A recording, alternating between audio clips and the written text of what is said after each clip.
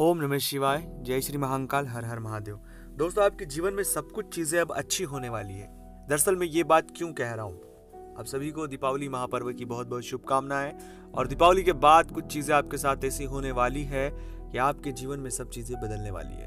तो वो कौन सी बातें हैं जो सब कुछ चीज़ें अच्छी होने वाली है, हम विस्तार पूर्वक आज इस वीडियो में बात करने वाले हैं। दीपावली के 11 दिन के भीतर भीतर इन उपायों को अगर आप कर लेंगे तो आपके जीवन में सब चीज़ें अच्छी हो सकती। हैं दीपावली के दिन से लेकर तो 11 दिनों तक नियमित गीता का पाठ आपको करना है। चाहे कुछ भी हो जाए, सुबह एक अध्याय पढ़े, शाम को एक अध्याय पढ़े, लेकिन नियमित रूप से पढ़े। दूसरा है कि दीपावली से लेकर 11 दिन तक, यानी कि देव उठनी ग्यारस तक, आपको रेगुलरली ही किसी एक व्यक्ति को भोजन करवाना है। चाहे आप अन्न करें अन्न दान करें, आटा दे, लेकिन कुछ न कुछ दान करें या चीटियों को खिलाए, लेकिन ज़रूर आपको करना है। तीसरा है कि दीपावली पर्व से लेकर 11 दिनों तक नियमित आप तुलसी के पौधे के नीचे, माँ तुलसी के पास सरसों के तेल का दीपक लगाएँ। और इसी के साथ साथ आप भगवान हनुमान जी महाराज के यहाँ ग्यारह दिनों तक बनारसी पान भी आपको चढ़ाना है।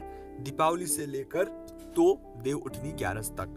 अगर आप ये उपाय करते हैं तो आपके जीवन में जितनी सारी तकलीफें और परेशानियाँ जो अभी झेल रहे हैं, ये सभी खत्म हो जाएगी दोस्तों। और साथ ही साथ राहु, शनि, बृहस्पति शुक्र, जितनी सारे ग्रहों से आप बहुत पीड़ित हैं, आपके जीवन में आपके काम नहीं हो रहे, शादी नहीं हो रही, विवाह नहीं हो रहा, व्यापार नहीं चल रहा पति पत्नी के बीच लड़ाई, झगड़ा, विवाद जैसी स्थितियाँ होती है, ये सभी चीज़ों में आपको राहत मिलेगी। लेकिन और बड़ी मैं बात बताऊँ, उससे पहले एक निवेदन है कि चैनल को अगर अभी तक आपने सब्सक्राइब नहीं किया तो प्लीज़ सब्सक्राइब करें।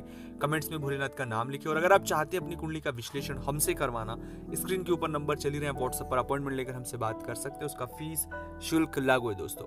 अब आपको करना यह है कि अपने गुरु मंत्र को लो, ले। अगर नहीं है कोई गुरु मंत्र तो ओम नमः शिवाय का मंत्र ले। और दीपावली से लेकर, सूर्य ग्रहण से लेकर, अगले चंद्र ग्रहण तक, नियमित आप उस मंत्र का जप करें। वो मंत्र सिद्ध हो सकता है। आप जब भी वो मंत्र जाप करेंगे, आपकी मनोकामनाएँ पूरी होगी और आपके जीवन में वो चीज़ें मिलेगी, जिसके बारे में आप कल्पना भी नहीं कर सकते।